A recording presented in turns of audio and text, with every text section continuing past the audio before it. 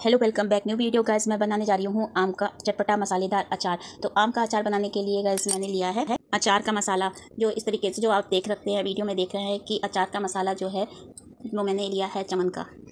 तो गैस इस अचार के मसाले में सब मसाले होते हैं। अब क्या करेंगे? गैस ऑन करेंगे और इसमें डालेंगे कड़वा तेल। कड़वे तेल को ज़्यादा गर्म नहीं करना है, बस हल्का सा उसकी नमी को ख़त्म करना है और खोल, नहीं, आने देना है और जैसे ही हल्का सा गर्म हो जाएगा तो गैस को ऑफ़ कर देंगे। जैसे ही धुआँ निकलने लगेगा तो गैस आप इस प्रोसेस से आप अचार बनाएँगे तो बहुत ही ज़्यादा बढ़िया और टेस्टी बनेगा और जो कच्चे आम का अचार मैं बना रही हूँ, वो कच्चे आम का अचार बिल्कुल वैसा ही कर रहा रहेगा जैसे आपका आम का अचार आम है, कच्चा आम। तो गैस मैंने मसाला जो पैकेट लिया है पूरा, इस तरीके से इसको खोलेंगे और खोलने के बड़े से बर्तन में इसको डाल देंगे। ना आपको भूनना है, ना आपको कोई मसाला चेक करना है कि कितना क्या, कैसा क्या क्या लेना है, क्या नहीं लेना है तो इसमें गाइस सब मसाले होते हैं। इसमें गाइस नमक भी पड़ा हुआ होता है, आपको बस कुछ नहीं करना है, झटपट आप का अचार बना सकते हैं, बस थोड़ा सा समय देना पड़ेगा।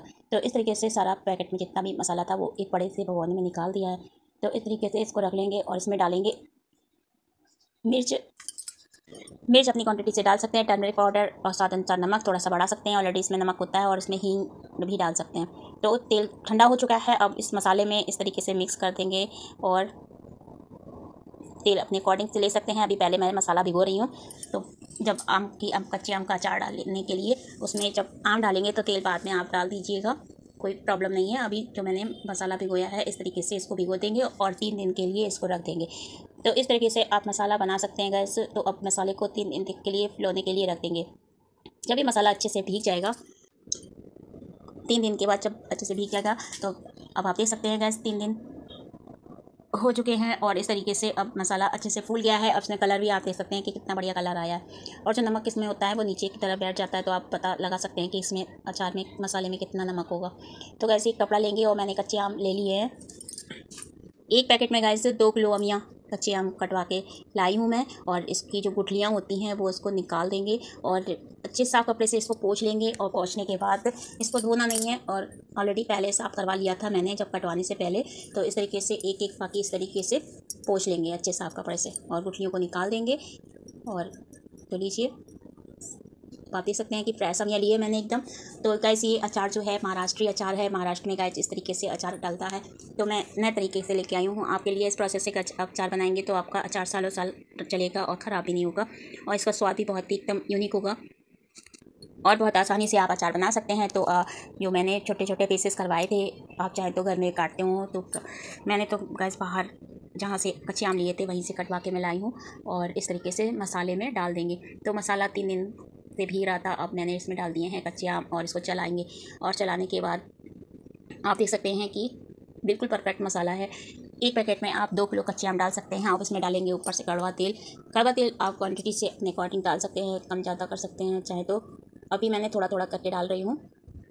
तो अब गैस इसको रख देंगे दो दिन के लिए ढककर। इस अच्छे से चला देंगे और चलाने के बाद इसको दो दिन के लिए ढककर रख देंगे। और आप सच मानिए, एक बार आप ट्राई ज़रूर कीजिएगा। आप इस प्रोसेस से बनाएँगे अचार तो आपका अचार की अमियाँ गलेगी नहीं, ऐसे ही टाइट रहेगी और जिसका कच्चे आम का जो कलर है, वो भी ग्रीन रहेगा साल भर और आपका अचार भी परफेक्ट रहेगा। सो so गैस आप देख सकते हैं कि झटपट अचार बनकर तैयार हो गया है। बस आपसे दो तीन दिन लगते हैं अचार डालने के लिए। ना आपको प्रॉब्लम है कि मसाला कितना डालना है क्वांटिटी कितनी रखनी है, इसमें आप हींग अपने अकॉर्डिंग बढ़ा सकते हैं और चाहे तो आप इसमें कश्मीरी कलर भी डाल सकते हैं तो उससे भी बहुत अच्छा कलर आएगा। तो गैस अगर आप मेरी वीडियो कौन सी जगह से देख रहे हैं, कौन से शहर से देख रहे हैं, अच्छी लगी हो, कमेंट में बताइएगा, इस तरीके से आप झटपट अचार बना सकते हैं। तो लीजिएगा इस दो दिन हो गए हैं, दो दिन के बाद आप देख सकते हैं कि हल्का सा कलर थोड़ा सा चेंज हुआ है। और जैसा कलर आप देख रहे हैं, अचार का परफेक्ट ऐसा ही रहेगा और बदलेगा नहीं।